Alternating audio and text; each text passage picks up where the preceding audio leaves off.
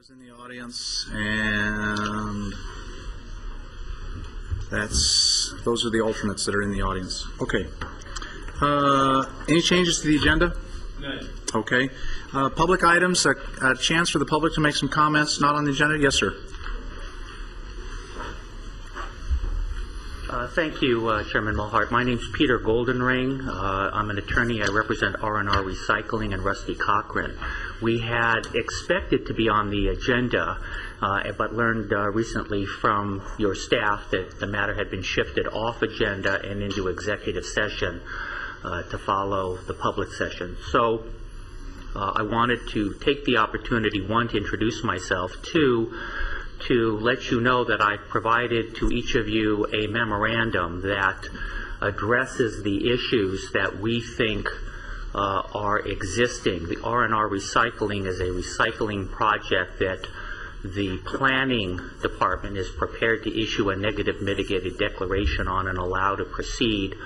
Uh, Staff at GMA has placed a hold on that because of a dispute with State Ready Mix concerning the amount of historical base allocation. And I'm not a water attorney. If I use the wrong words, please forgive me. John Matthews is water counsel for us.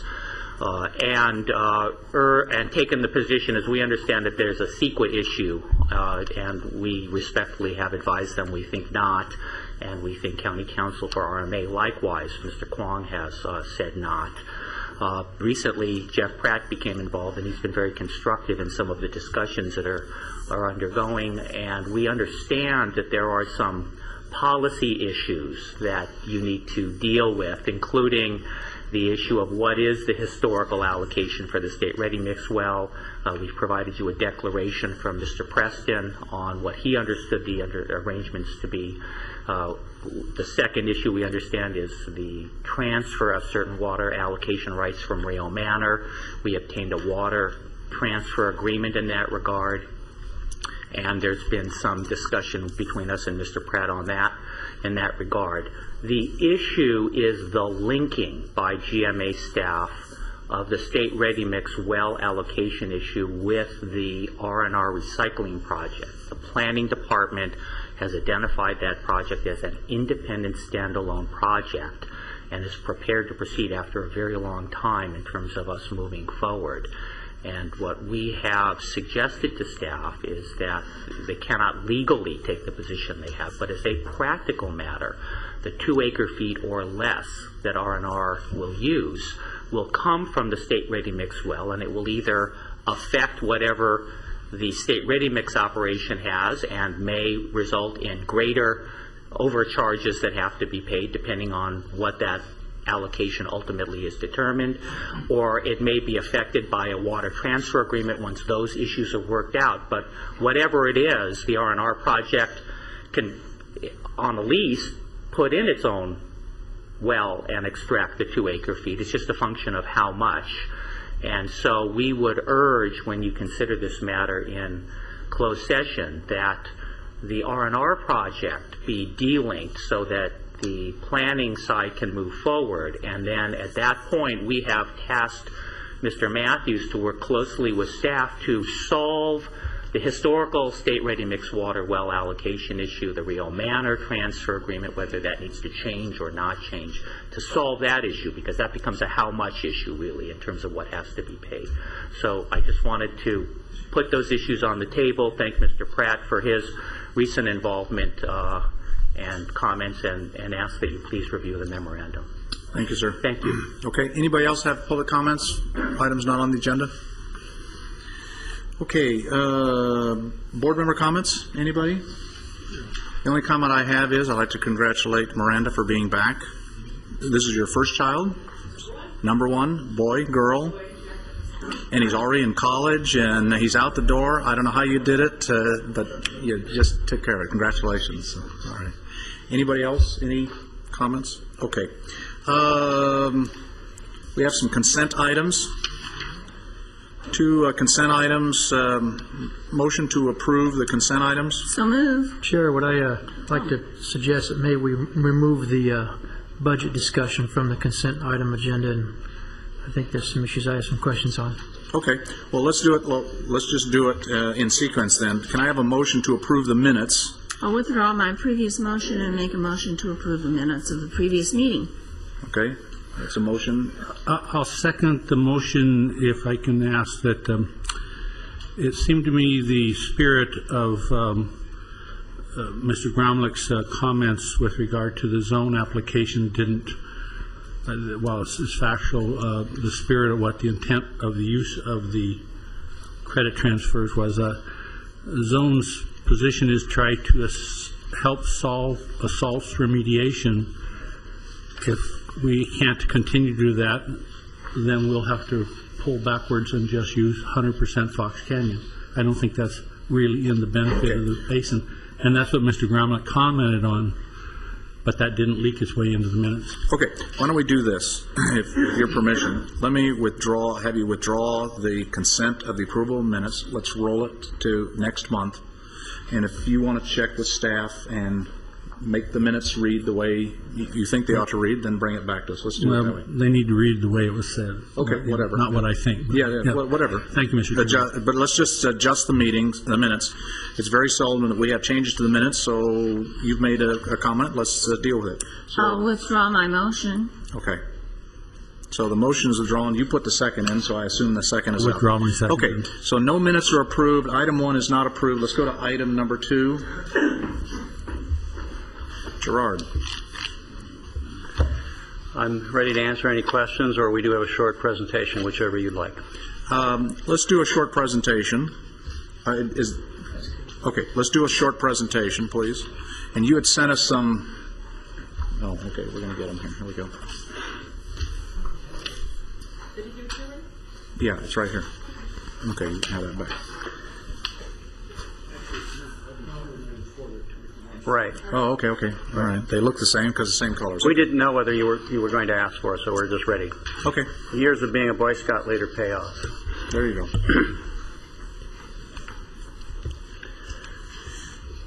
Okay.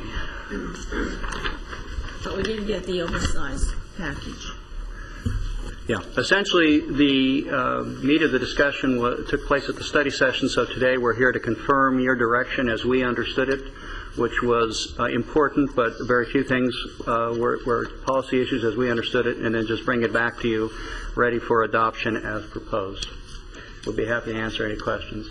As you know, uh, the core, the the bulk of our costs and our work are reflected in the uh, work plan, the annual work plan, both the level of effort and the folks involved, and a labor costing in terms of hours. Uh, To the left, we have our core one, section one core tasks, which are are essentially what we have to do in order to conform to uh, regulations, the statute, and business practice and requirements, and the others are the additional work tasks which your board evaluates whether it wants or not.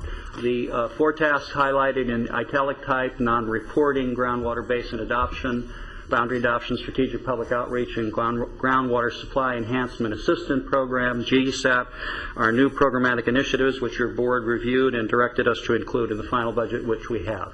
Essentially, this table just reports that information in a slightly different way in terms of the Section 1 core tasks. Uh, There are 24 discrete tasks totaling an estimate of 4,238 hours, uh, which translate to just a little bit over two and a quarter FTEs for that level of cost. Uh, With respect then to the 13 additional work tasks, Nine of those, as they're listed, are either continuations or revisions uh, on those tasks that were initially shown in the 08-09 work plan and 09-010. They're legacy issue resolutions, uh, and you see the rough level of our effort there, at 1,712 hours, or just shy of a full FTE at the cost identified. Um, The new task initiatives are shown, the last four, and comparable uh, levels of effort and cost. So the 13 tasks total about 2,352 hours, or just over one and a quarter FTEs at the cost. And these were all uh, consistent with the policy direction that your board gave us at the meeting. This is just another way to show um, in terms of our cores, what we, what we were going to do or will do at the year end. Uh, We still don't have precise, complete numbers yet because there's one report to come in, but this is pretty close. And, uh, and the pie chart on the left, or on the right, is what's proposed in terms of the work plan for the core costs next year. Similarly, when we add in the additional work tasks on the left, this is what it's like for this year, or just over 50% of our level of effort were on the additional tasks this year, whereas proposed in the plan next year is a distribution. Now, of course, these are plans, and actual uh, uh, reporting over the quarter will verify how we, how we do in 1011. Um, The major budget adjust- adjustments for the non-work plan portion was, we recommended to your board using increased surcharge revenues available to fully fund GEMS up to the 500,000 target. Your board told us include that in the final budget. We did. Uh, We recommended that uh, we seed the GSAP program with 250,000 in seed money. Your board told us increase that to 500,000, again, from the available revenues, surcharge and others, we did. Uh, And the- there's really, it's not an augmentation, but the standard reserve designation of 100,000 for above the bottom line contingency. So those were really the three major cost issues beyond the work plan that are in the final budget. Um, This is just the, taking that information and rolling up in a source of use. Our starting balance uh, projected at June 30th is just a little over 2.3 million. Um, We confirmed with your board the operating assumptions on pump charge payments, interest earnings, and surcharge revenues. You see them listed. So it's projected to have just over, just under 3.8 million in financing resources available next year.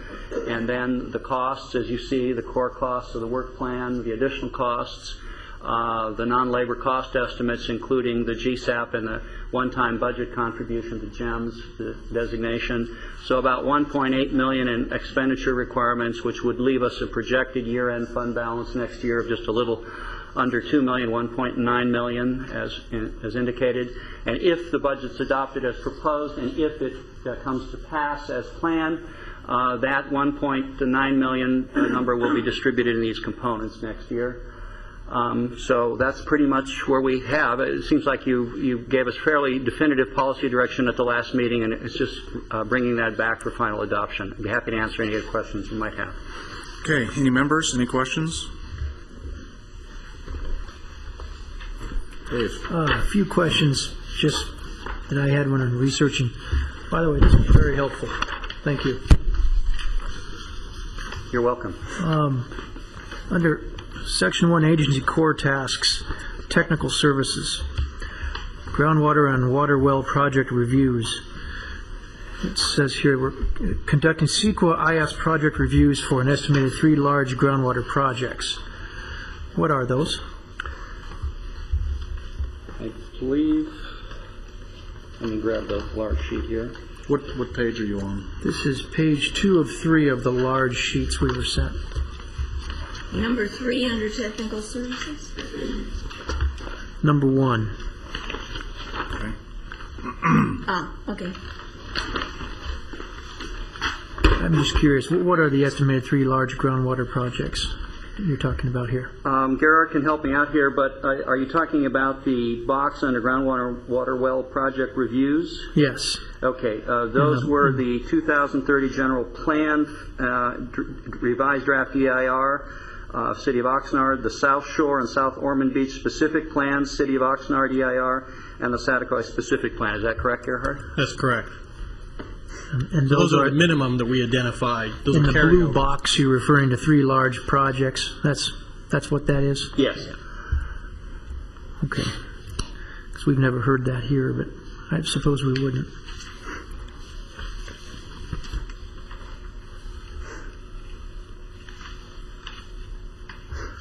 Um, On the last page, page three, section two, item number six, resolution number 97-2, grandfathering issues. Um, It says revising a draft board letter that's supposed to be in this packet. I didn't see that. Is that being pushed back? It's not being pushed back, it's just a little tougher to resolve before we bring to you. We're grappling with some balancing points to stay consistent with your guiding principles. We've heard from a variety of stakeholders what their points of view on that, and so we're trying to, in the first instance, uh, give you a product that uh, is worthy of consideration. So uh, we will be doing that in 1011, uh, certainly within the first quarter. Okay. And then ni- uh, item eight, groundwater resource management grant program tasks. What was the intended use of that money from that state grant? Rick, I may look to you, a little bit of help, but uh, for meters, meter telemetry, uh, replacement meters, and uh, with the data collection and perhaps some model updating or modeling. So uh, help with the metering program, the new metering program? Yes, uh, either assisting with the existing meter, meter calibration program, or uh, actually some telemetry. We've had some volunteers to, to where we can actually uh, have some automated readings, and, and that data then submitted to uh, real time. Gerhardt, would that not require replacement of the meter, though? Because on, the- on the telemetry read meters that District 19 put in, of course, they had to replace essentially the whole meter. Right. No, this isn't a requirement. Is that, did I answer your question? So the units you would have could read old meters? Dr. Kelly, there's a two uh, manufacturers that market a system that actually have a, a way to take a picture of the meter face and decode that and then submit the information. So they can be retrofitted on, on certain older meters. Thank you. Okay. There's one last question. Um, And I've heard it referred to in, in meetings outside this chamber, but obviously the GMA budgets or coffers are getting fat. And we've got now a significant, uh, this GEMS fund for uh, uh, possible litigation problems, and then this uh, GSEEP, if I'm saying that right, idea, which I think is a good one. Um, where are those funds being held? Well, all, the, the entire agency fund portfolio is held by the county treasurer's office. Uh, it is accounted for separately by the um, fund designations that in your budget, but they're commingled uh, as part of being in the county pooled investment fund, and we get the benefit of the interest of being in that fund.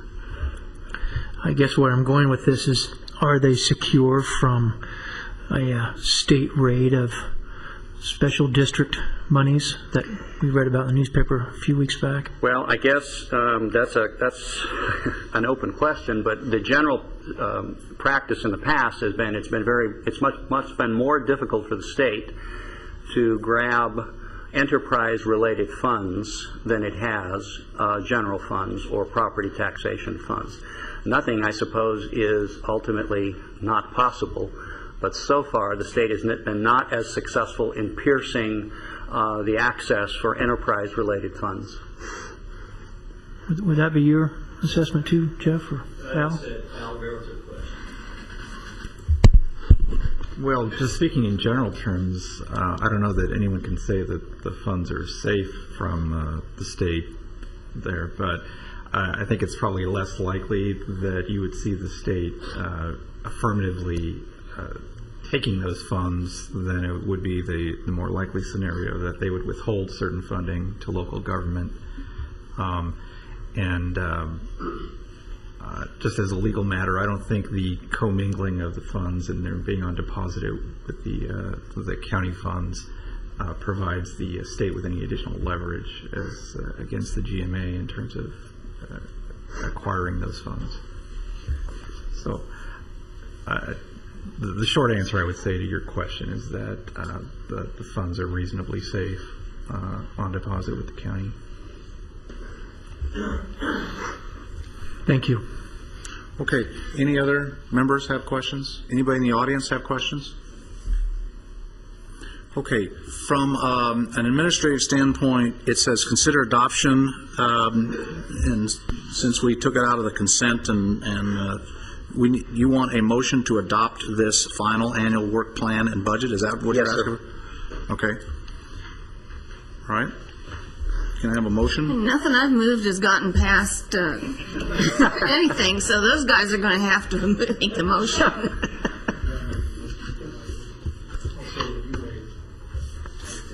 I'll let her second it. What- what- Mike, Do whatever you want, but I'm gonna let Charlotte second I it. move we approve the uh, annual work plan and budget as uh, presented.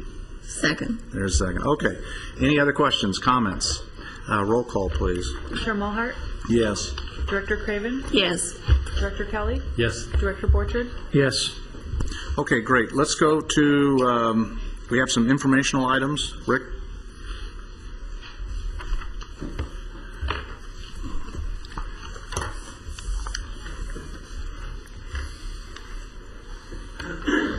Good afternoon, Chair Maulhardt, members of the board. For the record, Rick Goots, I'll be presenting the item today. Update on development of the new GMA groundwater management software. Uh, Before I get going, I did want to tell you that Mary Lintz from IT Services is here. When I finish with my slides, Mary will show you just some additional slides of the system so you can uh, see how it's coming together, and um, we'll move on after that. I can take questions at the end of my presentation or after Mary shows slides, whatever your pleasure is. In September 2009, the agency entered into a contract with IT Services to develop the new software application, and as you will likely recall, the purpose is to dramatically improve uh, the functionality regarding the way we're able to quantify groundwater extractions and also spot ordinance compliance issues uh, that um, have previously been more difficult to, to catch in a timely fashion. From a fiscal side, uh, it has a not-to-exceed cost of $143,060. It has an annual license and maintenance agreement of $12,680, and project closure um, is uh, July 15th, 2010. The project does remain on budget, and the core functionality is expected to be completed by the end of June. That's what we're calling Phase 1. Uh, Some items will be carried over towards the end of August to be completed by the end of August, I should say. Those deal with year-end filing issues, irrigation efficiency, and some other functions that uh, we moved, uh, moved out a little bit so we could make sure we finished the core functionality. Uh, User acceptance testing, data conversion, and other tasks are still underway. We're spending quite a bit of time on it. System development's 94% complete. And uh, we've completed user acceptance test three. There's one more to do, number four. And that hasn't been released by IT services yet. Data conversion is still ongoing. Uh, the final data conversion is scheduled to start June 25th. And we'll be doing additional QA/QC for the mid-year reporting, so starting, well, essentially at the end of this month, when we generate our semi-annual statements, we'll be using the new system and verifying that it is making the uh, statements the same as the old system to make sure we do that quality control check. And then we'll do additional checking at the end of this year, the end of 2010. So at the end of uh, 2000, end of June 2010, the core functionality will be online. And we'll be using the new system starting in July, but uh, well owners and operators won't be fully utilizing the system until they're trained. Its training is necessary. It would include things as simple as creation of an online account and uh, for the operator to go in and confirm that we have the right information and the operator can select notification type and importantly after that administrative work is done the operator will be able to file their semi-annual statements online file for irrigation efficiency online if they choose to do so in addition they can file for well permits and other um, ordinance authorized applications, transfers of allocation, baseline, those kinds of things. Uh, pilot testing is necessary prior to wider scale acceptance and use of the system. Uh, we desire that about 20 operators plus county fiscal services staff take part in the pilot testing starting in July and moving into August. Testing would include training for operators and uh, GMA staff as well, um, although we've been learning quite a bit about the system, and also training of county fiscal services on how electronically remitted funds are tracked. You, you might recall that the new system will allow people to pay online if they choose, and right now uh, the GMA doesn't do that. So we want to make sure that uh, any payments made online are properly tracked with county fiscal services. Some of the benefits of pilot testing versus just sort of a wide-scale attempt to distribute the system. Uh, it would maintain the number of new users at a manageable level. And if technical difficulties come up, we can handle them more easily, so it'll keep the rollout of the new system more manageable. Also, there's a timing element. Semi-annual statements are due to be released the first week of July. And the ordinance requires the reporting and payment within 45 days of that. So it would be premature to get all the GMA operators that would like to enrolled in this new system, so we need to do it gradually. There just isn't enough time to do that right now. So we propose to start with a small number of new users, and then additional training will come online later this year. So our plan for the 2010-1 period will use the old and the new system to generate all the semi-annual statements. We'll verify they match. And the semi-annual statements will be distributed through the U.S. mail as usual. We'll also include a, an, I'm calling it an advertisement, uh, or a, we can call it a notification, just telling the GMA operators that there is a new system that has become available that uh, they'll be able to use, and uh, will probably include some uh, uh, some facts about what the system does and how they can get um, enrolled into using the new system if they choose to do so. And we'll also process the selected semi-annual statements in the new system, but we will use the old system to confirm that they match. For the second half of this year, we'll have a lower level of effort regarding using the old system, but we'll still do some checking using the old system just to make sure. Uh, the semi-annual statements this round, though, at the end of the year, will be distributed via email to those people that want to receive them through email. There are some other considerations. Uh, the new system is new, and uh, there may be glitches we don't fully anticipate before it goes online. So we expect IT services will address these as they come up. And also, owner and operator use of the new system is voluntary. So we want to make sure that uh, the rollout goes as smoothly as possible. And this is our proposed schedule, which is also in your staff report. And it basically summarizes some of the dates that I talked about. June to early July, we'd seek and accept volunteers for pilot testing. One of the reasons we wanted Mary to show some slides today is to show some of the other members of the audience that haven't seen the new system so they can see what uh, is coming available. July through mid-August, we'll conduct training, and late August through early September, we'll go over the results of the quality control checks. September, November, we'll look at ideas to encourage more owners and operators to use the system, and then additional training would occur uh, at the end of this year. So that concludes my slides. I can answer questions now if you'd like, or I can have Mary come up now.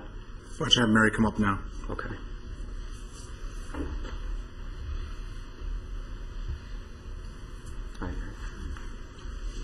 Mr. Chairman, members of the board, thank you for the opportunity.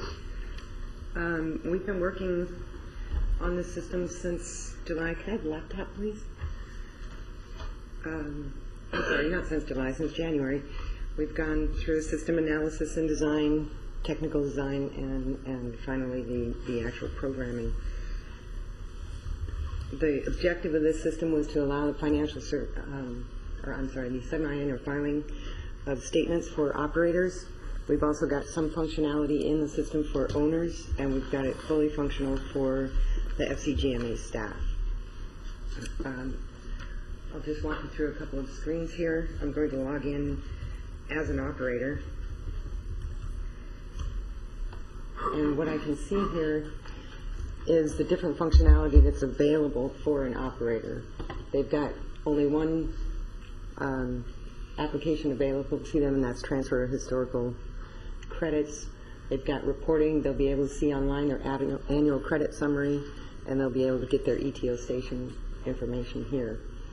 Looking at the current operator screen, um, if there's any amount due on the account, it will show up right here for them. They can come in here, modify their account uh, information privileges, change their passwords, select their, their uh, preference for how they want to receive these messages. Down here is the notifications area. Anytime an application or a semi-annual filing is created in the system, a notification will show up here for the operators. It'll tell them how many notifications they've got, if they've got any semi-annual extraction fees due. It shows up here. by selecting the COM code up here. I hope that's the right one. Yes. I can see the number of wells that are associated with this COM code, and as time goes on and we get the data conversion for the prior semi-annual statements, there's a summary down here of what those statements entail. Looking on one of the wells, I can see what the extractions were for this particular well. I can see who the owner is, and I can see how it's allocated. There's a GIS component where you can go out and, and look up the maps uh, for wells when you're filing a permit or when you're filing a, a um, irrigation efficiency statement.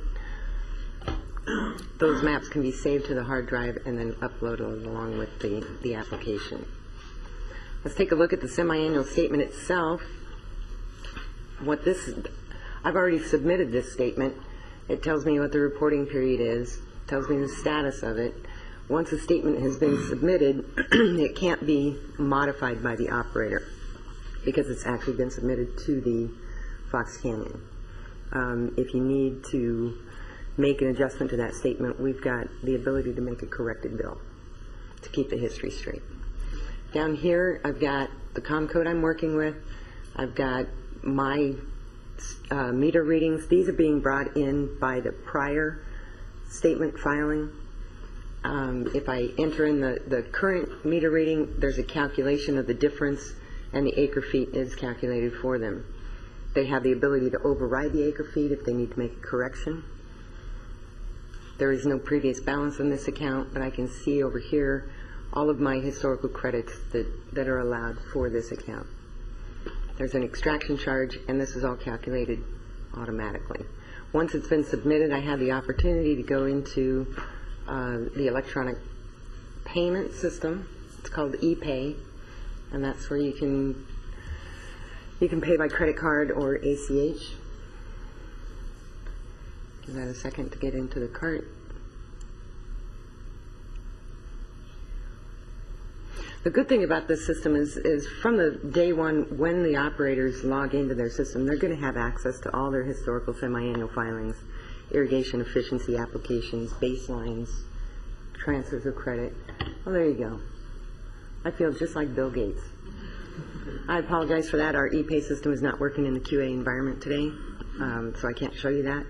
But essentially, they'll be able to add this semi-annual statement to a cart and walk through the payment system. The monies that are calculated through there are processed by a payment processor and transferred directly to the county treasury. The county treasury will in turn transfer that money into the FCGMA accounts. And that's where they'll be reconciled by Fox Canyon County fiscal people. Okay. Anybody have any questions? Members, any uh, questions or comments? Thank you very much. Sounds great. Yeah, I, I'm, I'm pleased that we're moving along and that we're going to meet uh, most of our deadlines. And uh, I think there's going to be a transition period, obviously. There's going to be training going involved. Um, the only question I had was for you to see that there is a semi-annual report that you have to do, you have to go to, you have to log on into the system. That a, that a new semi-annual requirement has been, has been uploaded into your system. You have to go to your system to find out if that is in fact true. Is Yeah. I, I hear your question, Mary. Okay. That's not, uh, we're not sending reminders to people Is there- via email. that they have Yeah, is there a subsystem? Send it in. Is there a sub, the way it's set up, the way you demonstrated it was, I have to go into, I have to remember the first of July or whenever, uh, depending on when we're period reporting, to go into the system to look at it to see if the semi-annual report for that period has been uploaded. Um, no, you won't have to log into the system. When an operator chooses their preference on how they're going to receive notifications, there's U.S. mail and email as options. So even though the statement will show on their homepage, they'll also get notifications. Ah, okay, okay, through I didn't catch mail that, and okay. email. So they'll get a separate email saying, hey, go to your page, it's been uploaded, it's now time to file. Or a snail mail. Or snail mail, either way, we'll get them. Okay, I have a quickie. Uh, yeah. How does GMA verify that the funds have been allocated from the county treasury to the GMA account? What's the There's- accounting process there? There's reporting in both ePay that shows um, all the transactions that have been taken for a given period. You can search by uh, date range or even one day. There's reporting from the payment processor that um, tells what funds have settled, and that's reconciled against the Treasury, and then the Treasury will load that money into a GMA accounts. And GMA will then reconcile against this system to make sure that the, the funds balance between the filings that have been paid electronically and those that have not. So GMA receives those notices from the e-payer as well as the Treasury. They have an account into, into ePay, but most of the notification will come through the Treasury. GMA is not going to utilize ePay in its full functionality. It's basically just a payment engine. I'm thinking simply, I mean, it's, it's, they're not going to get a bank statement and then be able to look at it and reconcile it. It's been moved into their account, or how does that work? No, they won't get a bank statement. They'll get notifications from the Treasury's office through journal vouchers and, and things like So it's all handled within the treasurer's office. It- the money comes in through the Treasury's office and is transferred to GMA, and the reconciliation between what's been paid in the Fox Canyon database and what's been deposited into the Treasury, that's where that reconciled will take place. Right, so GMA just received a notice from Treasury that this is what's been transferred in. Correct. Well, in fact, that, there was a meeting earlier this week to discuss the details of that board member board trip, and we haven't finished uh, that, but the idea was that the GMA will have an independent way to check the transaction numbers that ePay has against what the treasurer sends them. But um, that discussion between fiscal and IT services isn't complete yet, so we don't have a full answer for you. But there will be reconciliation on the far end by GMA fiscal staff. That's what I'm getting at. Thank you. Okay, any, um, any other questions on, on this item? Okay, keep moving. Move to receive and file? Okay, one last item. The historical reporting that we have done over the last umpteen years, will that be carried into the system so that when I pull my records up online, I can see what I've reported over the last 10 years? Yes, you'll be able to see that. Okay, very good. All right, good. Anybody else? I Mike? second the motion. Okay, motion is second to accept it, and all in favor? Aye. Aye. Okay, let's go to item number four.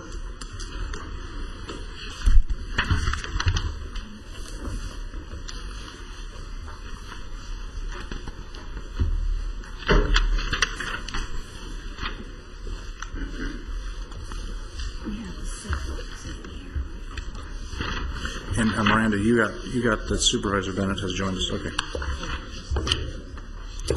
All right, which of your nifty charts do you want us to start with? Well, actually, uh, hold the charts in abeyance because we have an automated pres- or an animated one that I think makes it more clear. It's, I don't right. believe this is complicated, but it has taken some time to get all the Ts crossed and the Is dotted. Uh, for the record, Gerard Kapuscik with Watershed Protection and District and Agency staff.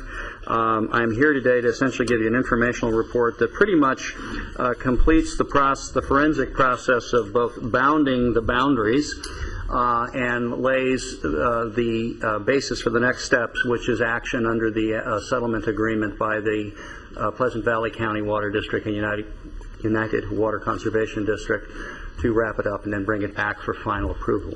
Uh, This has taken a little bit longer than we had thought, but I think the effort was well worth it. Uh, There are three specific objectives that were accomplished here. First of all, we were responding to a request by one of the stakeholders to correct a map which was not correct as part of the settlement agreement, even though it does not, the correction of that Guadalasca Mutual Water map does not in any way compromise what's in the settlement agreement, but it simply corrects a mistake in the boundary of that map. Uh, Secondly, to the extent that we do not have specific statutory requirement or, or statutory language that compels mutual water companies to give us boundary information, this fills a gap, and this, this company has worked with us as, or actually both companies have, to make sure that that gap is closed. Uh, And thirdly, it helps us provide the information to your board and stakeholders in managing uh, extraction. So with that, uh, let me just go ahead and launch. Uh, Essentially, our objective here today is reconfirm how we got here, uh, recap the results that have occurred since the last time we went before you, which was April of 2009, and you're giving us direction to continue work to, to complete this project, and then report that results. Um, I'm happy to say that um, I believe we have representatives from all of the affected stakeholders here today. We have at least uh, three of the four quartet of distinguished aqua consigliere here who we've worked with on this, uh, and we have representatives from both the Thornhill and Guadalasca Mutual Water Companies. I believe Mr. McKee is here from Thornhill, and Mr. Broom is here from Guadalasca. So I think Sam, by the way, uh, really appreciated that description of who's here. I mean, there still chuckling away. Thanks, Who is Sam? uh, in any event, I we have all the players, so you'll, you're, you'll have the full um, suite of, of folks to answer questions. This essentially is a static slide. This is the map that's currently uh, attached as Exhibit A to the Thornhill Miller um, Water Company. The ground zero area is the gray area, and what I mean by that is everything that's in that gray area is subject to the uh, restrictions of use of, of local groundwater, requirement for uh, foreign or, or water that is not local groundwater if there's a request to irrigate it, and has amortization period. Uh, so uh, what's at issue here is the boundaries of Guadalasca, and it's hard to see because there's a lot of information on this map, but particularly in the area in the southwest, oops, and this area here were incorrect.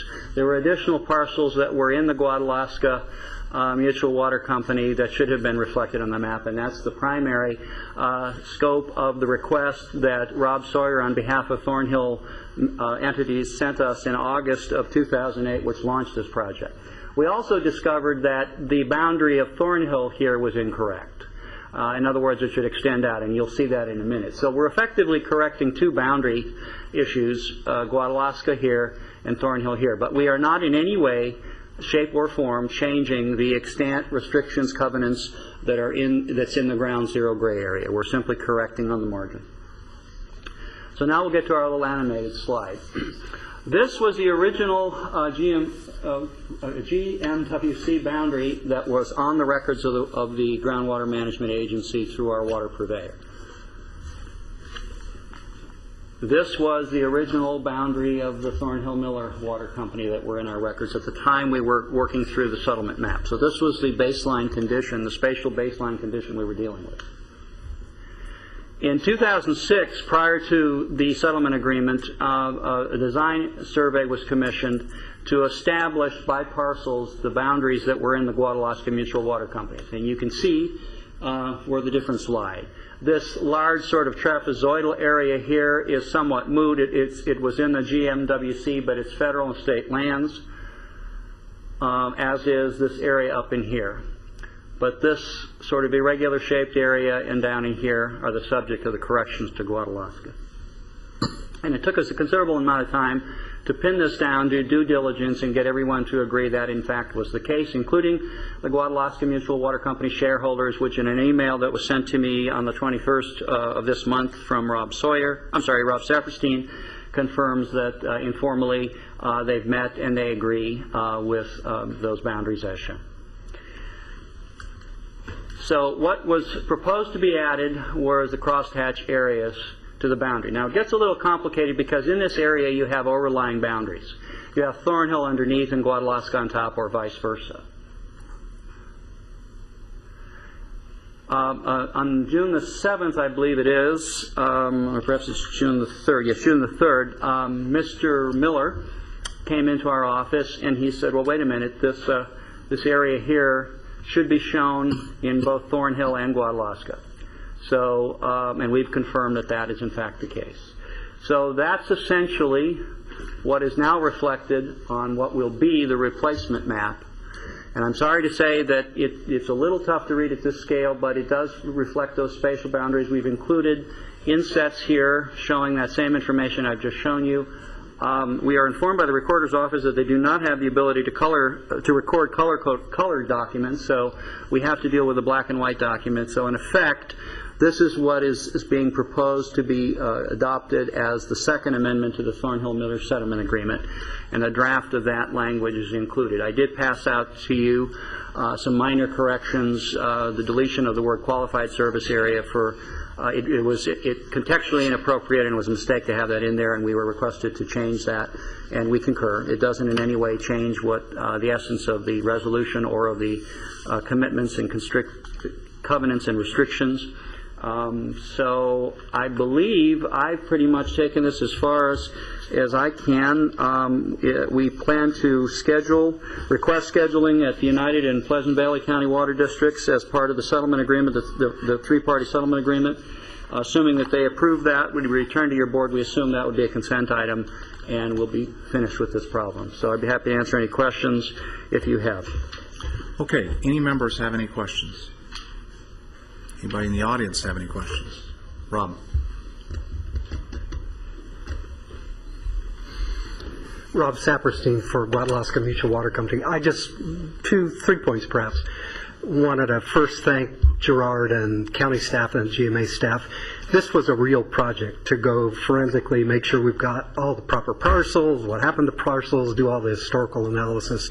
And county, both Gerard and county GIS staff were terrific in generating three overlays and a very complex map. So we really appreciate that. It helps us do our work and making sure the companies understand where where where we're within GMA boundaries, where we're within PV boundaries, where we're within United boundaries, and all of that madness in overlapping jurisdictions. So very much appreciate that.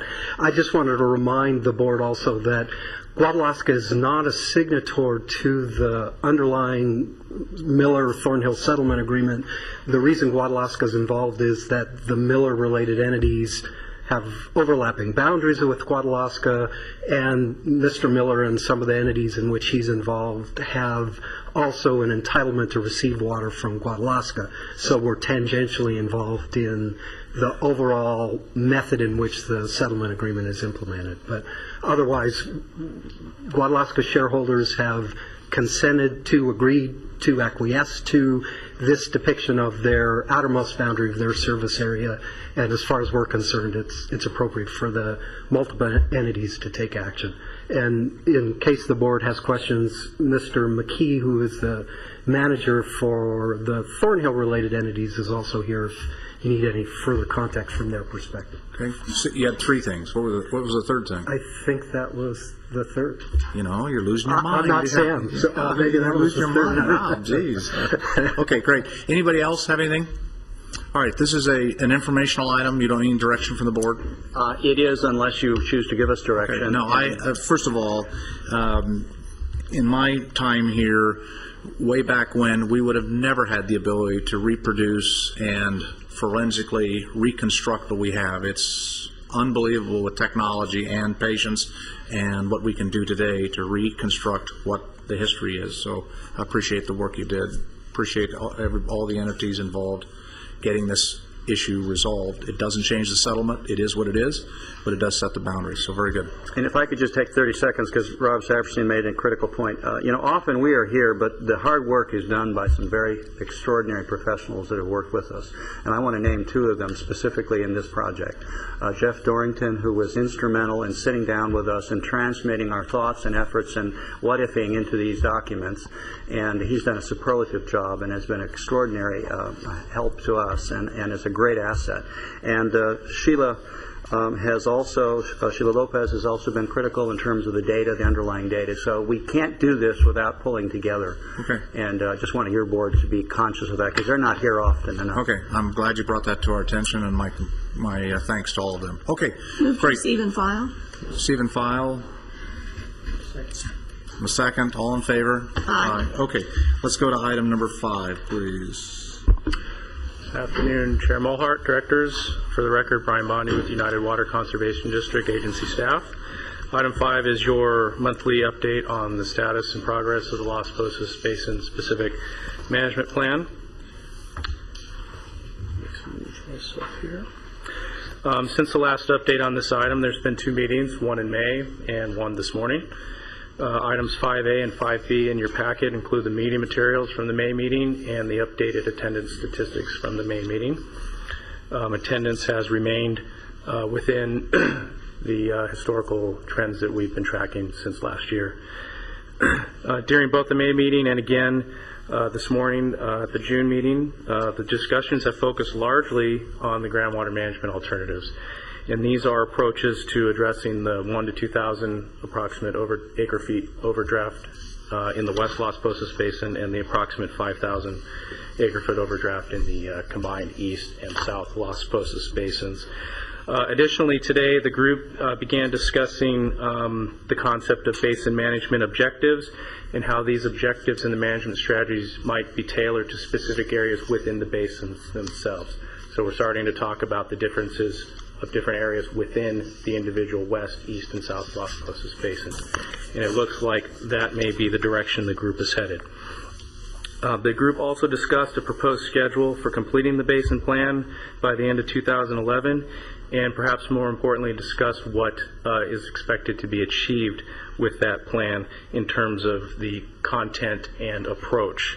And looks like where we're headed is recognizing the existing information that we have, the uncertainties in that information, both geologically and with respect to infrastructure, desalters, supplemental water, salinity management pipeline, the ability to tap into that, how much it costs to tap into that. Those considerations and uncertainties are going to have to be folded in, and what we're looking towards is what I would characterize as an initial plan that's going to have an adaptive management approach, and it's going to be something that is going to have to be revisited periodically as we gain more information, as we improve our technical understanding, as we learn more about costs uh, for the infrastructure that will provide supplemental water, which will ultimately be how we achieve safe yield in those basins. Uh, That concludes the update on this item, unless there's any questions from your board or from the stakeholders in the audience. Okay, any members, questions? Anybody in the audience, questions? Okay, thanks, Brian. Move to receive and file. Okay. Second. All in favor? Beat. Aye. Okay, opposed, hearing none. All right, let's go to um, item six. Okay, again, for the record, Brian Bondy, United Water and agency staff. Uh, Item six is related to item five in that it's the proposed extension of emergency ordinance D, which is the emergency ordinance which was adopted for the Las Posas basins to create a timeout for the basin plan to be developed. Um, As you might recall, this ordinance was adopted originally in February 2009 and includes a temporary moratorium on well permits for new or expanded groundwater uses and institutes a four acre feet per acre cap on irrigation efficiency. Those are the two prohibitions contained in the ordinance.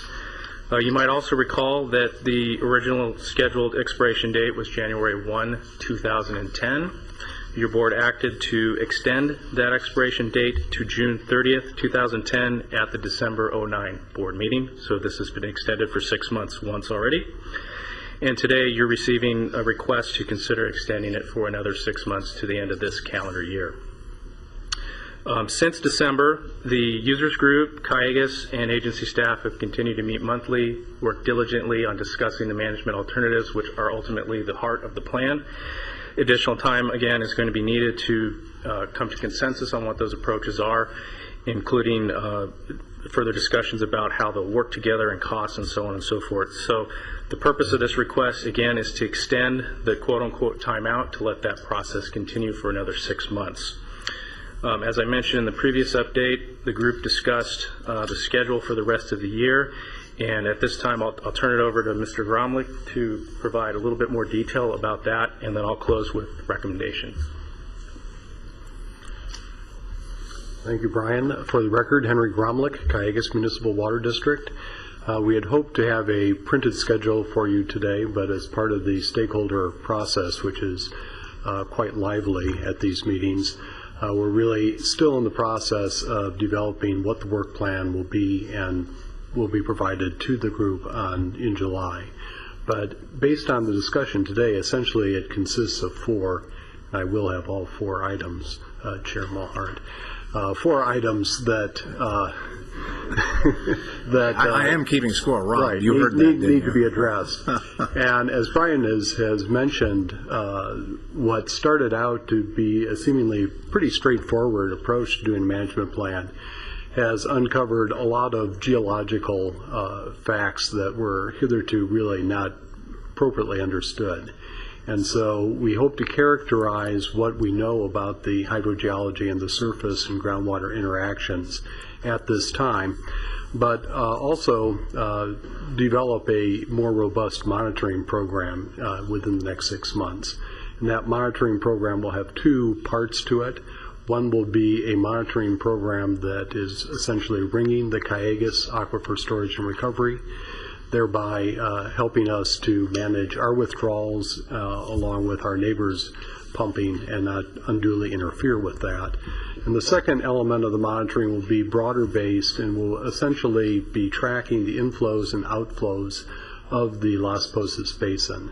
And we hope to better characterize uh, the way in which the surface water and groundwater interact by having that monitoring program in place.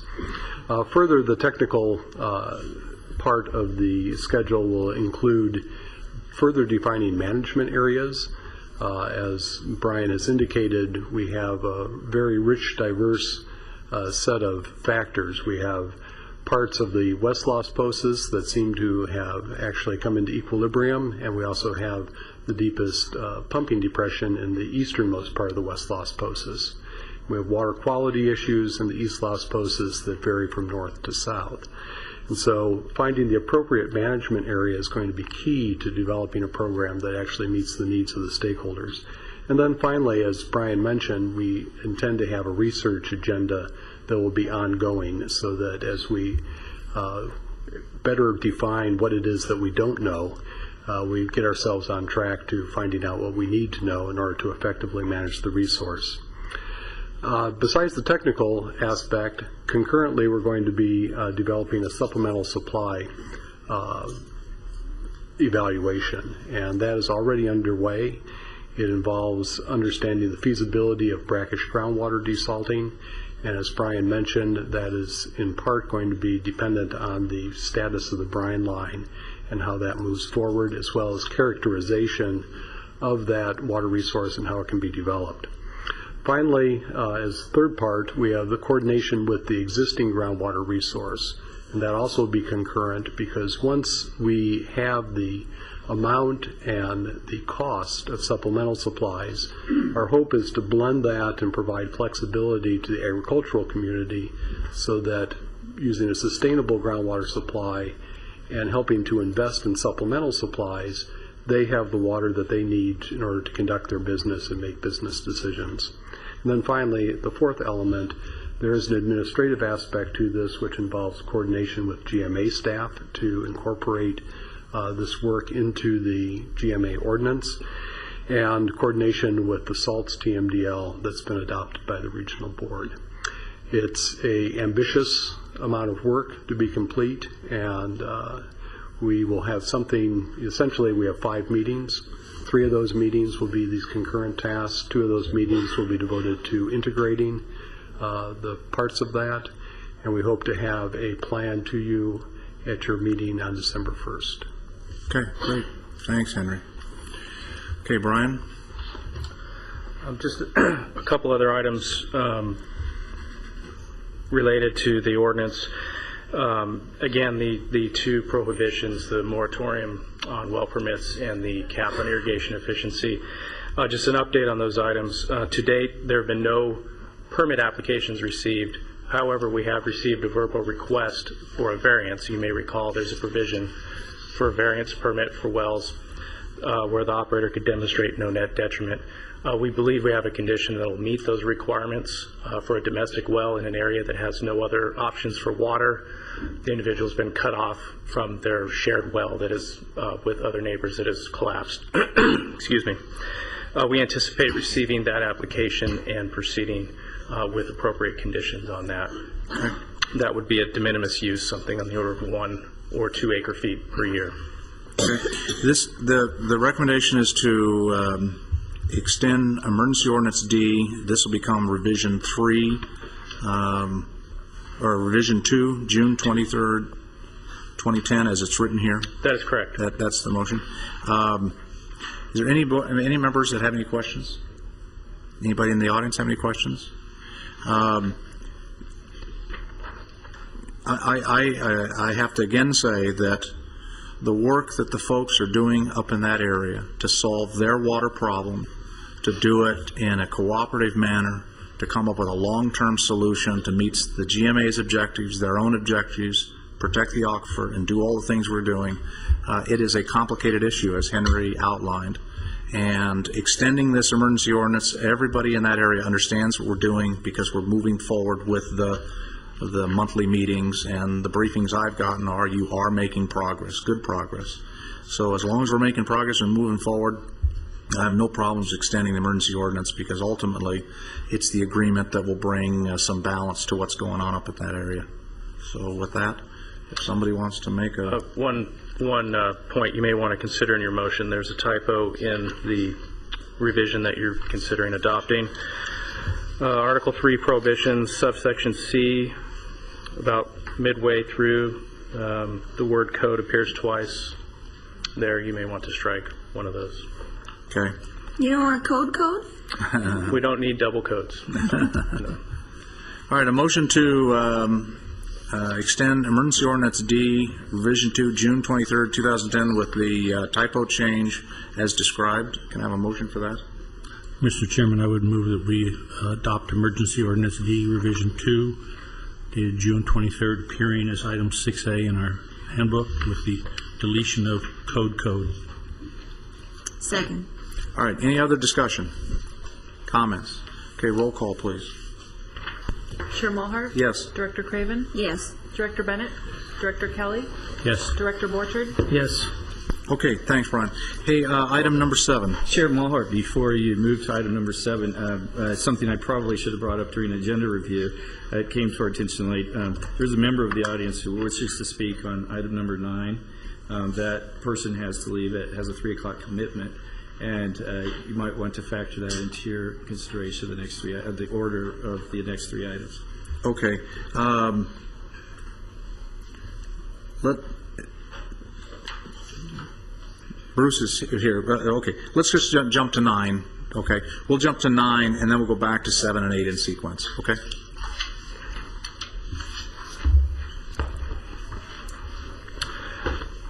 Again, for the record, Brian Bondy, United Water and agency staff. Item nine is proposed adoption of ordinance 8.3. Um, Today, we will um, review the ordinance for a second time, uh, discuss the comments that were received and how we propose to address them, and then, if it's your pleasure, uh, proceed for public hearing and potential adoption. Could I please have uh, the presentation for item nine?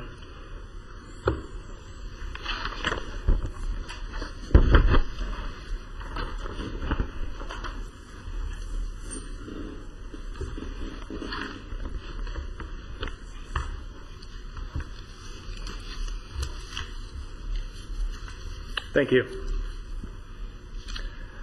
Um, As you know, staff have been working through a list of ordinance code updates. Um, Ordinance 8.3 is addressing uh, topic number 10. This is the tracking table we've been using for this project. Um, And topic number 10 uh, relates to things uh, pertaining to flow metering requirements and reporting extractions. Uh, The issues that the proposed ordinance update uh, will consider uh, include clarifying the requirements to report extractions, uh, calling out exceptions to flow metering requirements. The third is adding specificity to the flow meter installation requirements. And lastly, uh, including some requirements for notifications when flow meters fail. Those are the four items that we're uh, bringing for your consideration. Uh, As you- listen to the presentation, you may want to follow along with either item 9A 9B or 9C. 9B is the actual ordinance you're being asked to consider today. 9C is a red line strikeout version of the proposed changes from the actual ordinance code.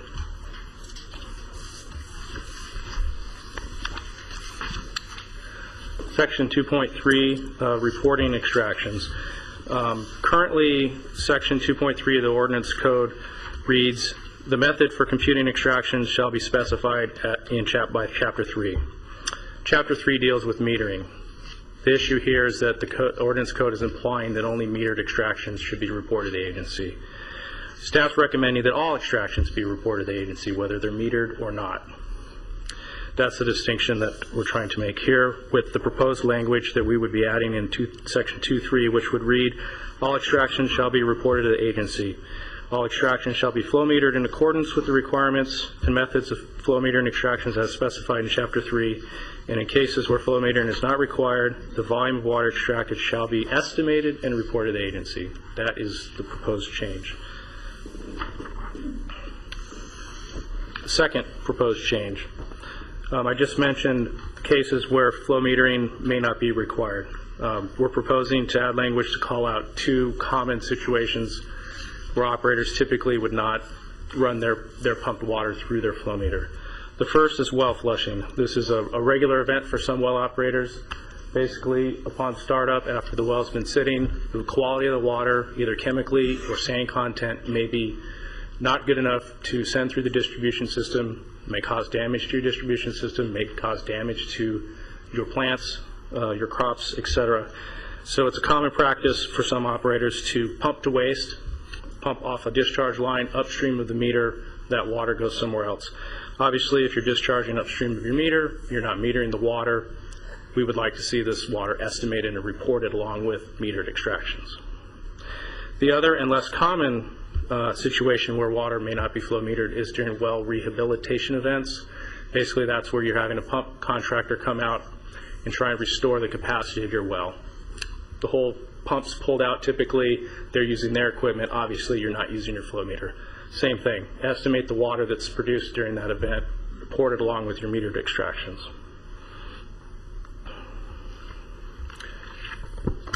The third group of proposed changes had to do with flow meter installation requirements.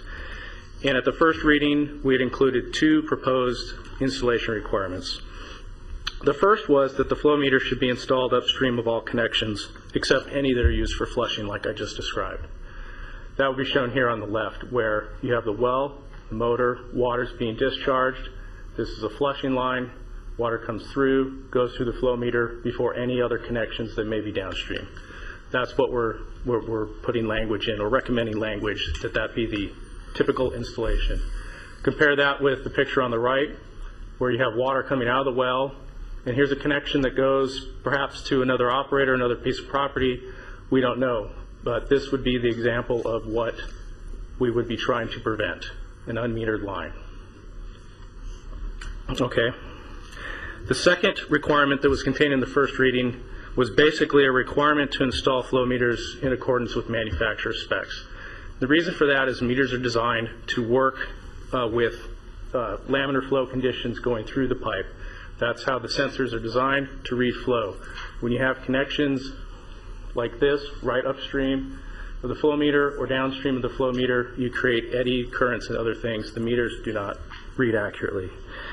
Um, we've actually decided, uh, based on uh, discussions with Mr. Smith from the City of Camarillo and others, uh, and also in consult- consultation with experts at McCrometer, one of the larger ma- meter manufacturers, uh, to remove this requirement um, because it appears that it would be burdensome for many operators to actually be able to plumb their system in a way where you have sufficient distance before and after the flow meter to create those laminar flow conditions. This would be an example here where you've got a, a gated area, there's not a lot of room, can't extend this line out very much further and get that distance. So what we're proposing to do instead, not today, is to come back and modify Resolution 2008-04, which has the flow metering requirements. And what we would be considering to do there is requiring the operators to test when they're doing their calibration at a variety of flow, flow rates and pressure conditions.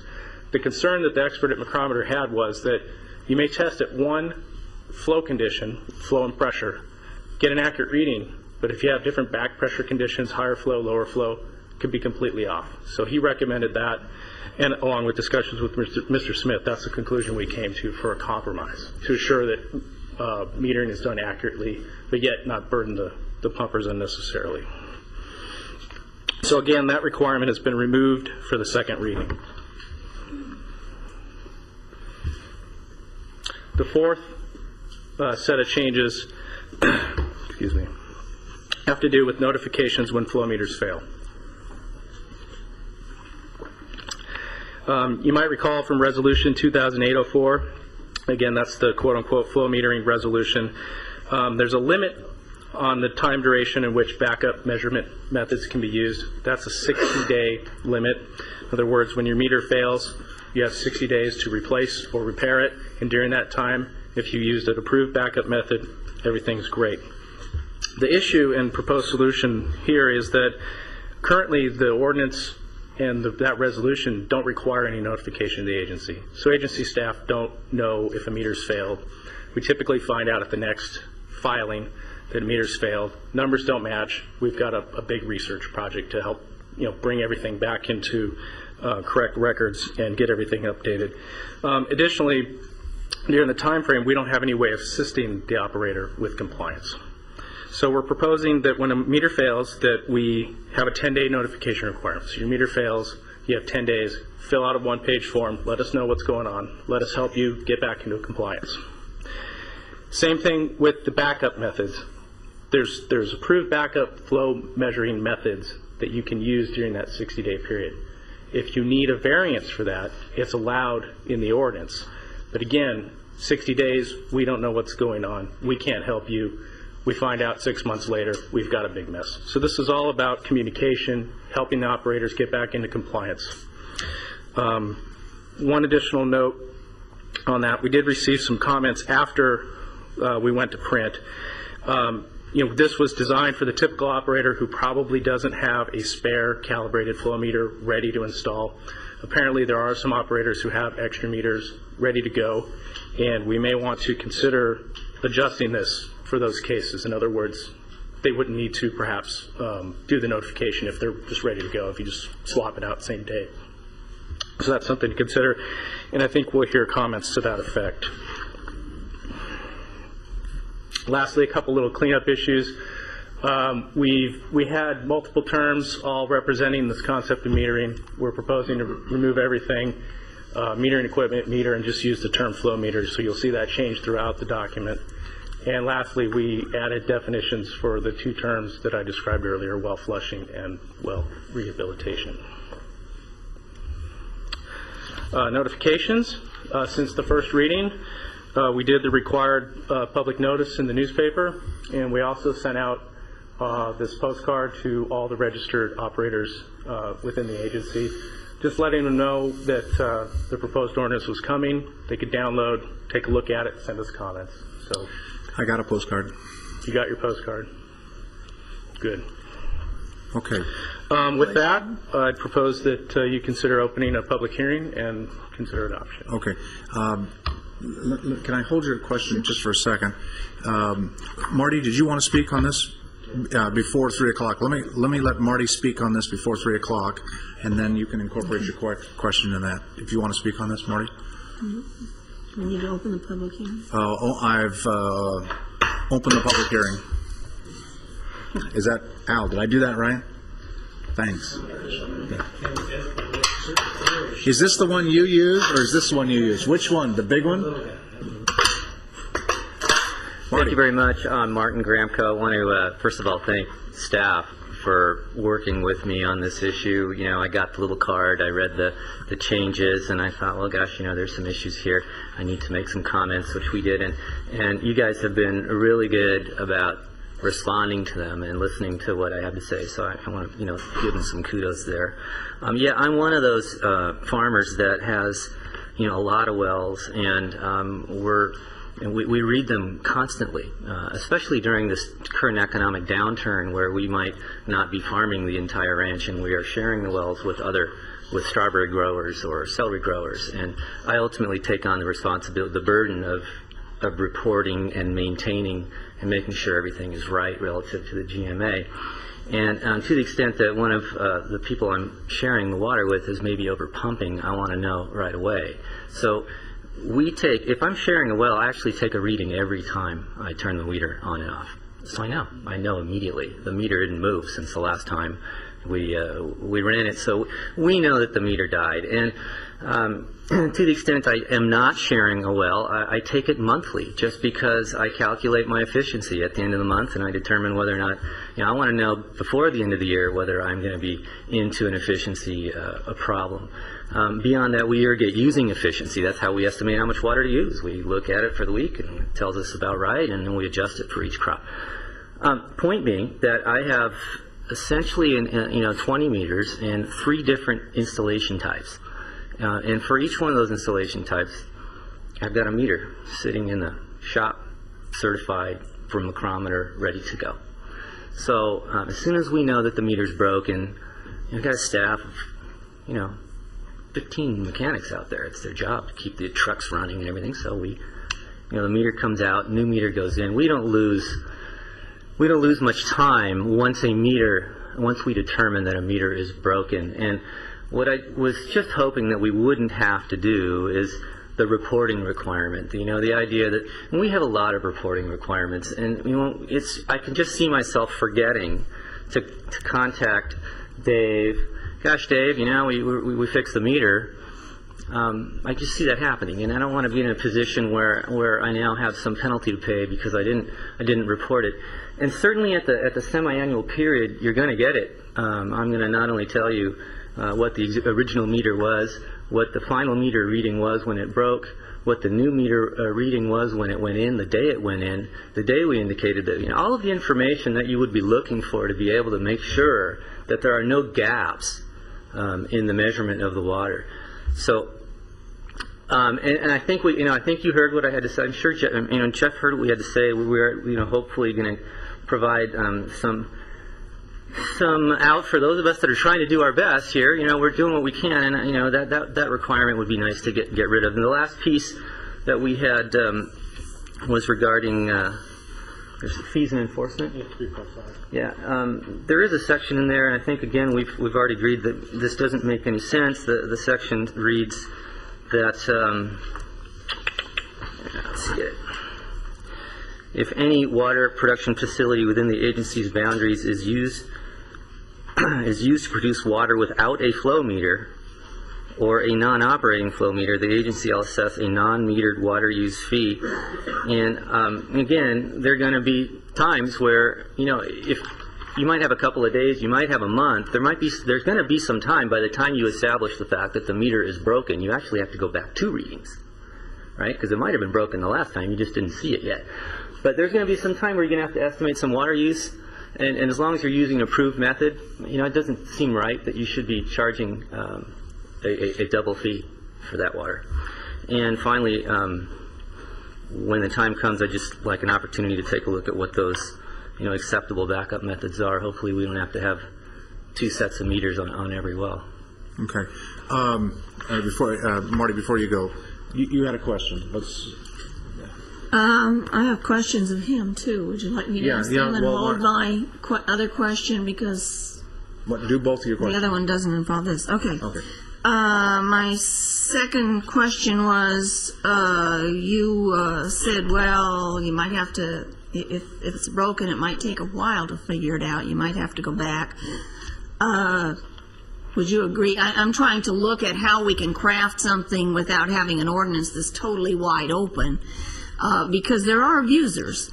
Um, would you suggest a time limit or?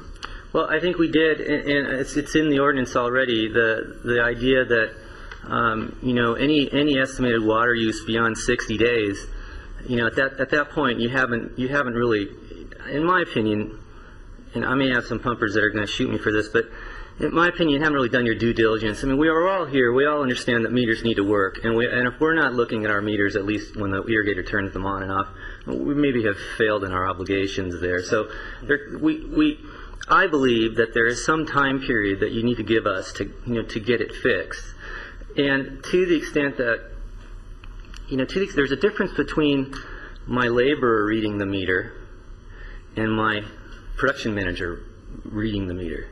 It's just, you know, I, I, he's looking for that. He's looking for the broken meter. He's looking to see that the, that the water use is useful. And when I'm farming and not sharing, I'm going to read it monthly. So the reason I think 60 days is reasonable is that what's likely to happen is that you, you, you take your reading and it either is exactly the same as the last reading, which was 30 days prior, or it moved just a little bit and your common sense says that's not right. Well, if it moved just a little bit, you probably can you can probably assume that it broke in that 30 days. Make the estimate. We're going to fix it immediately anyway. Makes the estimation, you know, using the previous 30 days. If it didn't move at all, you really have to go back another reading and say, all right, I've got to do 60 days worth of estimation because I really don't know where this guy broke. And uh, you know, I don't know that it's reasonable to ask us to read our reading, you know, our, our meters, uh, you know, every day. I mean, we happen to do it sometimes, but I mean, you know, doing it monthly and looking at it monthly, and you know, with all of the other things that we're doing, it just it just feels right to me. It feels reasonable.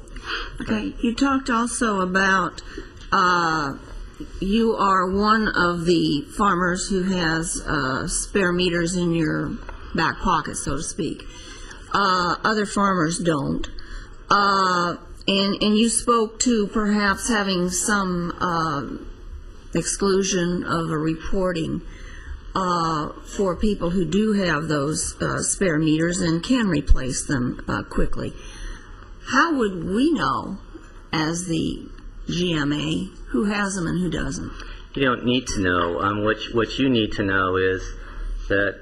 Well, um, we need to know so that we can expect some people to report and other people. What you're going to get from whoever, wherever, whenever the meter breaks, from whoever reports it to you, is going to indicate to you that the meter is broken. The, the day that they, the day that they determined it was broken. They can also tell you the last time they read it. And the day that it broke, they should be able to tell you how long it took them to fix it. Now, if you don't have a meter ready to go, I mean, given the new meter ordinance, that's, you know, uh, these meters are hard to get. They're, they don't just, you know, I've, the reason I have meters now is because I have too many of them fail, and I've waited sometimes months to get them. So, you know, in the end, it's, it's cheaper for me, and I think for any pumper, to have a meter just ready to rock because the water is expensive. Especially when you get into this twice. I mean, I, I pumped, I had a thousand dollar bill on one meter at just the GMA bill in May on one of our ranches. And if that was doubled, that was a thousand dollar fine for 30 days.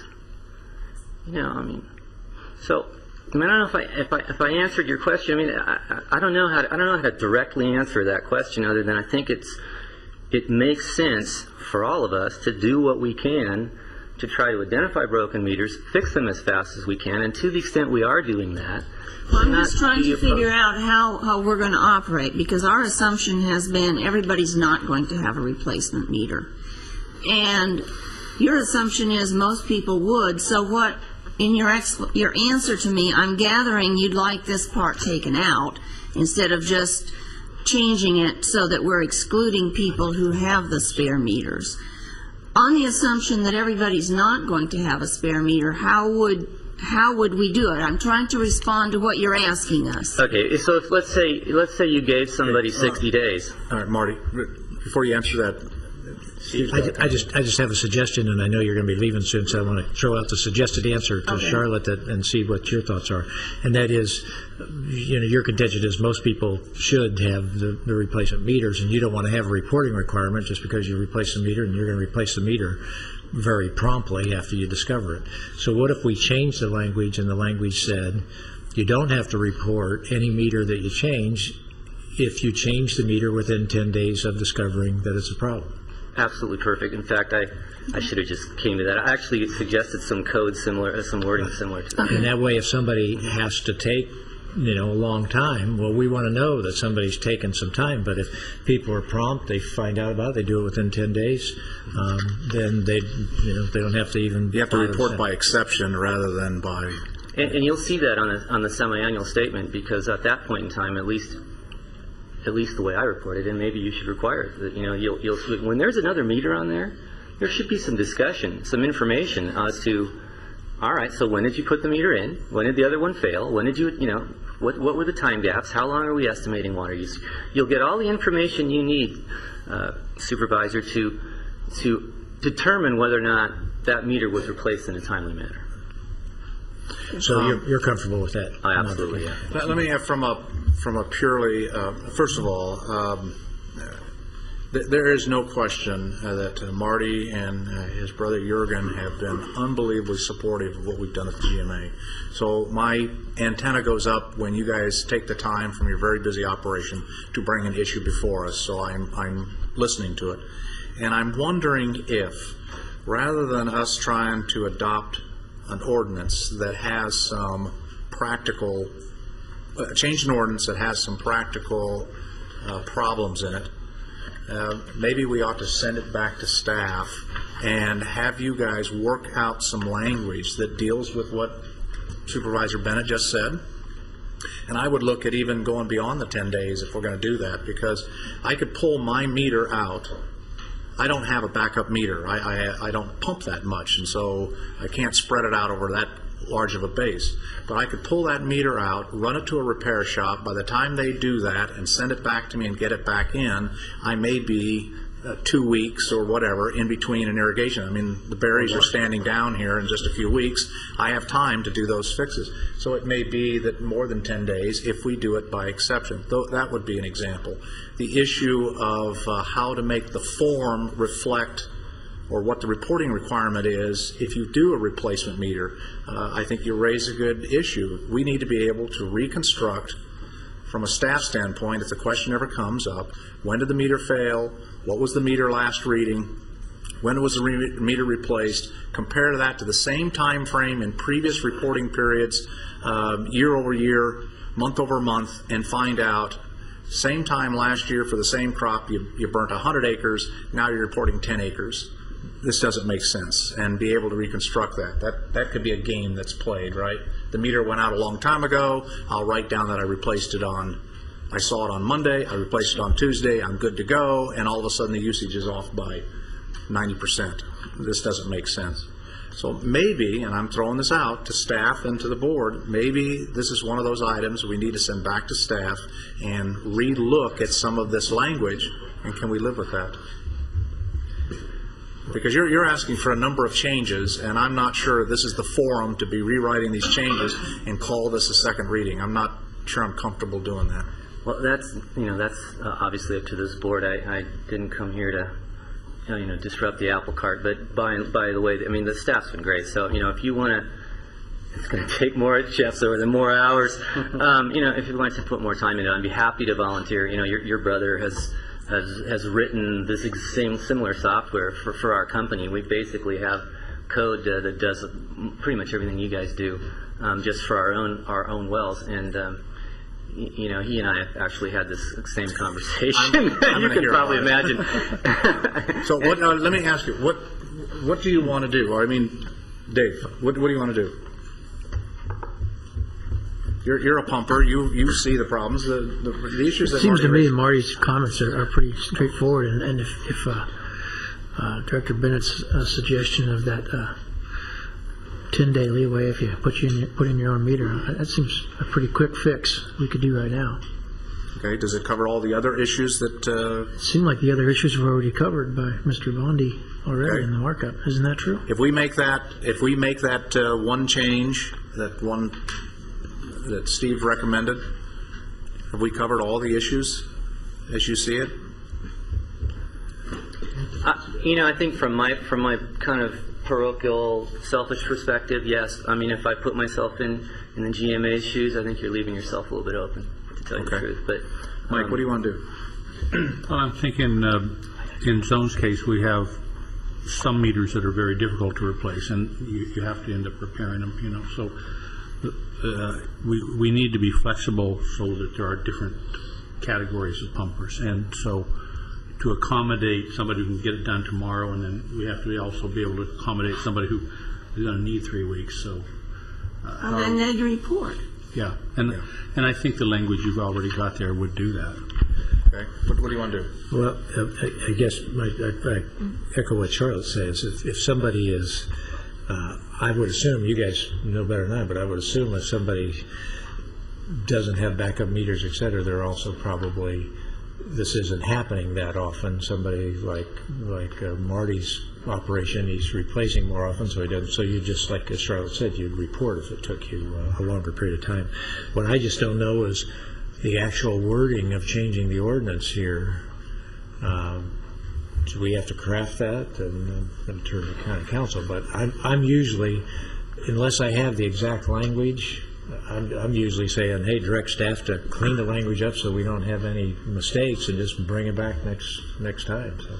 Well, maybe we should do that then. Yeah, yeah, so that way you just don't have any, any misunderstanding, unless, unless there's something about this, but I think this, you know, I want, number one, I also want to commend this, this board and staff, this before I came on board, just started the process of, you know, looking at all these things so they weren't out of date, so I would, I would just think that's the, that's the most prudent thing to do. Okay, Charlotte? That's fine with me. When we finish our decision on what we're going to do with the ordinance, I still have my original question. Okay, with that, uh, Bob, you want to say something? Good afternoon, Robert Aronio, Crestview Mutual Water Company. Uh, it just came to um, idea to me, two possibilities here. One, you have a meter committee, which this whole thing was started with, uh, the brains behind it and the ideas and how to form this thing along. If that's insufficient, isn't that why we have the SAG? To deal with these issues and talk these out in order to bring them back to you so you don't have to burn so many cycles of staff, use the horsepower that's behind me here in order to address these problems and come up with the language and, and float it through real world applications as we deal with every day. Okay, all right, Thank very you. good, all right. Um, Now, ask your uh, My original original question that you wanted to ask. Uh, yes, you sent out a notice, and it was published in the newspaper. Whether we adopt it or not, we'll be adopting something at some time that is putting a new time limit requirement on pumpers. Exactly how are they going to know that there is a new time limit requirement put on them? Um, I'll defer to Al, but uh, a couple things. Um, we can send another postcard. That's an option. Uh, we're required by statute to do another public notice. Uh, other options are to send a flyer. I think we've talked in past meetings about uh, newsletters going out with the semi-annual statement. So I think there's several vehicles for Let me, let me just say this. If we were to go ahead and adopt this today, then it's effective in 30 days, is that correct? I believe so. I believe so. Speaking It's, of- it's effective in, in a short while. Uh, and what, if something is published in a newspaper, I really and truly seri- that, that's fine for letting people know there's an upcoming public hearing. But my guess, and farmers may be different than I am, but my guess is that there are very few more people than me who read those things, and I don't read them. So to put it out and say, we published it, and so everybody should know that they've got 10 days to notify us of this isn't, isn't good. When this comes back to us, and if for no other reason, I'm going to vote ag- to delay this, when it comes back, I would like a plan as to when we're going to send out what type of notification to everybody who has a pump and needs to know this information. Okay. Um, uh, Mike? Jeff? Just going to agree totally with uh, Ms. Craven. I, since the uh, foreclosure, uh, I I haven't got the time to sift through the the newspaper articles anymore. You know, there's more no, public notices than there Yeah. is paper. That's right. Well, the- yeah, and the paper financially had to shrink, and so it's just uh, notice that gets buried. So uh, we go back to, you know, some of my stuff from last year. N- Noticing properly uh, the affected parties is probably a very primary duty that we have, and, and if we delay something in order to more properly give everybody a chance to be forewarned, I think is a very prudent thing. Okay, let's do this. I'll, I'll- I'll, I'll tell you what I'm thinking, and you guys can yay or nay it. Um, Let's bring back to the July meeting a revised language that incorporates some of the things that Marty talked about as best we can. Let's put it on as a specific task item to the SAG group so that they can put real-world binoculars on it and, and take a good look at it and determine whether or not this is reasonable and it works. And that gives you some time frame between now and then to come up with your notification strategy. And let's just put that on the July meeting. Okay? Uh, Chair, could I just make a suggestion that since this seems to be a relatively minor wordsmithing issue, calling a meeting of the SAG, probably entails a whole lot more expense and staff time than just pulling this together maybe with a, with a telephone call with, with Mr. Gramckow. Okay, I- I would, I would agree with that. I think the idea of SCAG for future things, I think the suggestion is more in principle for future. Okay. Yeah. Then let's, let's do that. There, there, there's no SAG meeting scheduled between now and then? Yet. Okay, all right. Oh, I, I was thinking there was. Okay. Then what I want, what I want you to do is um, uh, adjust the language to incorporate what the discussion is. Uh, We do have some original committee members that worked on the well ordinance. Let's run them by them, send a copy to Tom and Bob and who else was on the committee. Take, and, okay, and, and take a look at it, okay? We'll, we'll put them all to work, all right? We'll even send a copy to Sam, because Sam has meters, I mean? All right, so let's do that, bring it back for the reading in the July meeting, and um, I think it'll make a better ordinance for us anyway. Okay, everybody okay with that? And then, as part of the package in July, come up uh, with a notification plan, so we can make sure we don't get the problem that we've had in the past, okay? Yeah. No, I think it's just staff, uh, it's just staff direction. We don't need a motion on this, do we? No, just staff direction. Okay, very good. Let's go to item number, uh, backwards now, item number seven. Good afternoon, Chair Maulhardt, board members, members of the audience, Gerhardt Hubner, Watershed Protection District. Uh, Very simply today, in this item uh, before you, you have the opportunity to do election voting for the LAFCO Special District. I'm going to go right to the recommendations. Uh, We did, in your board packet, include, excuse me, a ballot. So today, uh, if you so choose, you you have the opportunity to elect two candidates to the Ventura LAFCO uh, to represent Special District for Ventura County for one uh, regular seat and one alternate seat. Uh, There is also the opportunity to vote yes, no on the amendment to the rules and regulations. That's part of the resolution, and, and by doing the ballot, adopt Resolution 2010-5. And thus, we will then submit that to LAFCO by the deadline uh, needed. Okay, um, where is the ballot that we, I'll Send it by email. okay, all right, there it is there. Um, All right. uh, Seven B, page four. Did, uh, Bruce, did you want to speak to this? Okay, please.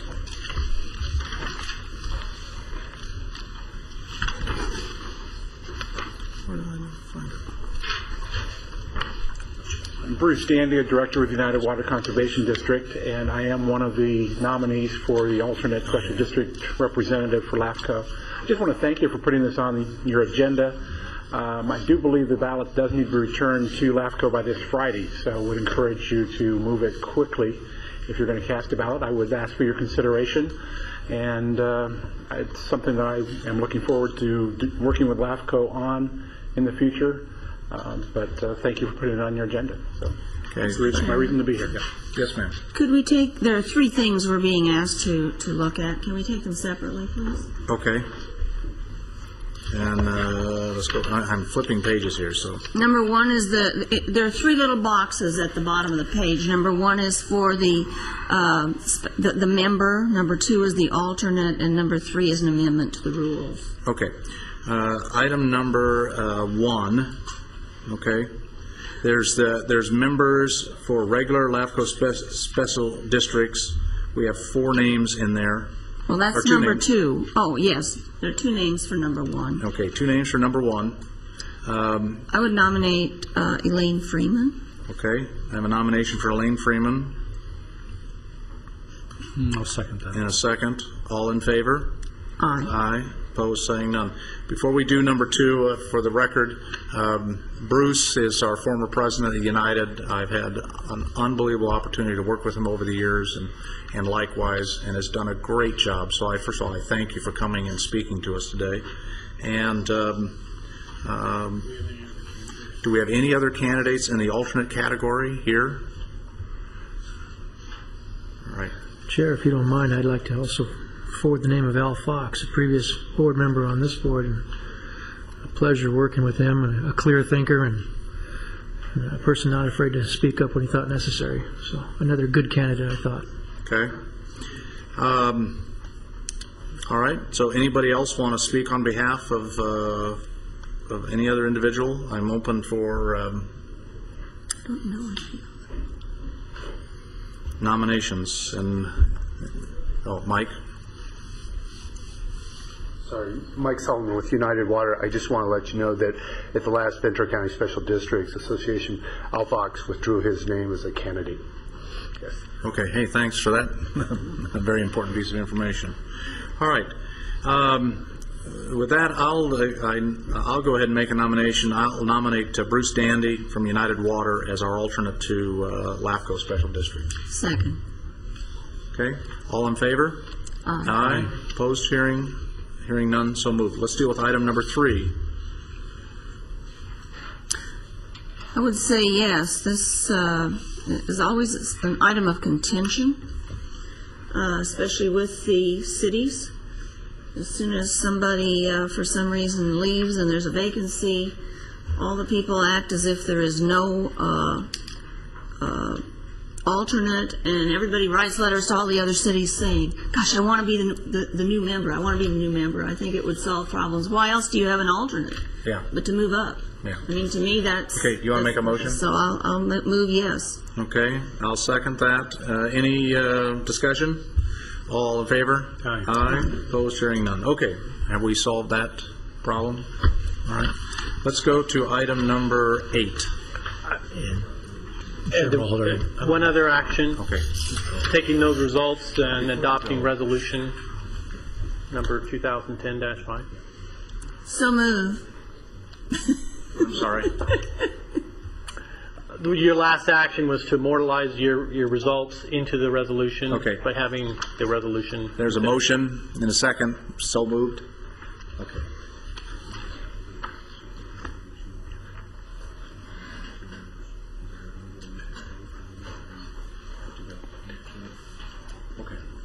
All right. Okay, let's deal with number eight, please. Mr. Chairman, um, Mr. Lennox has been a longtime friend of mine, and I feel uncomfortable saying I would like to recuse myself from this. Okay, all right, very good. All right, and right now we have three members. Um, Supervisor Bennett told me he had to leave. He's checking to see if he can stay so we can deal with this issue and have four members and not just three members. The Three members are legal to do it, but to have another mind listening to the issue, uh, I think is appropriate. So while we're waiting for Steve to come back, let's go ahead and deal with the issue. Are you presenting it? Yes, I am. For the record, Rick Viergutz, I'll be presenting the item, uh, and I haven't had the opportunity to meet Mr. Lennox. Is he here?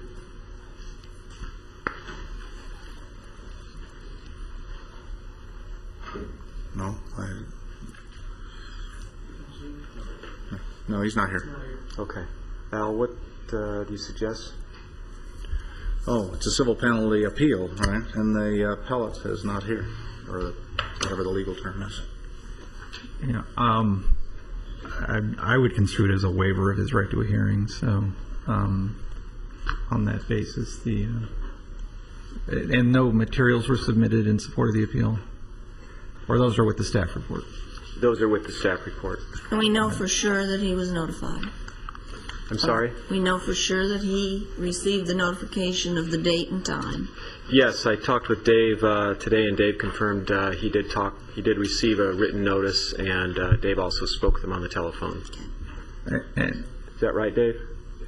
Okay. and and also under the, the board's procedural rules, um, you could decide not to hear the appeal, and that would end the matter as well.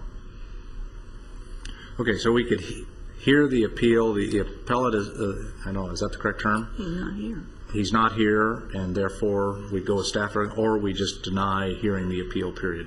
What, what do you want? what- Without a Tell hearing. us uh, how you want us to handle these appeals, so we have a track record of how we've done in the past. You, you decide how you want us to do it. Well, my recommendation uh, in this uh, uh, case would be for the board to simply decide not to hear the appeal. Okay, and we do that as a motion? Yes. Okay, can I have a motion? We ask if he was in the audience. Does he have a representative here? Before we, You're a representative uh, representing uh, Mr. William Lennox, uh, Bill Lennox, AKA the Lennox Ranch. Okay. Okay, none. Then I will move to not hear the appeal. Okay, Second. okay. Um, Any other discussion? Let's have a roll call on that, please. And the Supervisor Bennett is absent. That'll be fun. Chair Maulhardt? Here, yes. Dir- Director Craven? Yes. Director Kelly? Oh, he's Oh, I'm abstaining. sorry. Director Borchard? Yes. Okay, all right, that issues that one. All right, we have a series of administrative uh, items, all right? Move to receive and file. Okay, and a second on that, please. Second. All right, hearing no objection, it's uh, received and filed. We're going to adjourn to closed session. Uh, Al, out of closed session, are we going to do any reporting out? To one of the matters, yes. Okay, so we'll recon- reconvene out of closed session on uh, one of the items, all right? Anybody else have anything before I go? Hello, hello, Steve? Were you going to mention something about a workshop? Oh, uh, Jeff, were we going to mention something let me, uh, about a possibility?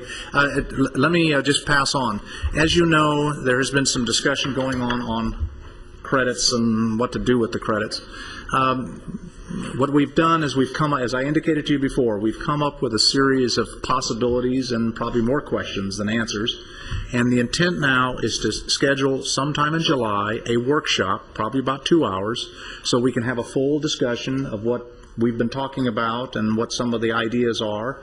And then out of that, it'll be put on the board agenda at the regular board meeting so that the board then has a chance to give some kind of direction to either do something about it or let it die or whatever. So no decisions are made. It's simply a report. We'll do it as a workshop at least one day in July. A workshop for, you said "we." I don't know who A "we." workshop for the board, so the board can go to it. Will be a noticed workshop for the board and for the public. Okay. Okay? It'll be an open forum as we've done workshops in the past. And just to be clear, that, that means that we'll be having two meetings in July, the special meeting where we do the workshop and the regular meeting of the board, at least as it was discussed today. If you're, uh, And we don't have a date yet set for those. I will be gone until the 13th, Okay. returning the 13th, and I have so- shoulder surgery scheduled for the 30th. Okay, it'll be before. So if it could be between those Yes, dates, it'll I'd be really before the, appreciate the it. intent is to do it before the board meeting, uh, to have a, an open air discussion, as we've done in other workshops, about some of the things we've thought about in the credit issue, and determine, to give the board some guidance, and then use the board forum meeting in July as a way of giving staff direction, yes or no? Do we have enough time to notice that? Oh, yeah, yeah, yeah, they're gonna come up with a date. Thank you. Okay, all right, with that, meetings, oh, John, yes. Uh, Just real quickly, John Matthews for State Ready Mix and uh, R&R Recycling. I know you're going into closed session on that. I know that Mr. Goldenring will be sticking around to hear the report on that. I assume he'll come back if there's any action. He'll take and make that report in open session. Uh, Is that correct? If any action is taken. If we take it. I was, I was actually referring to the other matter on which we would be reporting. I don't anticipate a report uh, out of closed session with regard to that item. You do not, okay. Okay, does that answer your question? It does. Okay, all right, very good. All right, meeting's adjourned. Oh, meeting to close session, I'm sorry. I know, I know.